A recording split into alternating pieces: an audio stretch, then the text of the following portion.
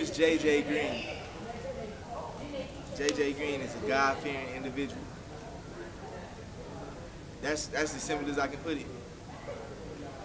As simple as I can put it. I, I feel like, you know, with that comes everything, you know. So I can't I can't say JJ Green's an actor, JJ Green's this, JJ Green's that, or whatever. I can't say I'm a comedian. I can't say I'm that. I can't say I'm anything without being of God. So God fearing individual.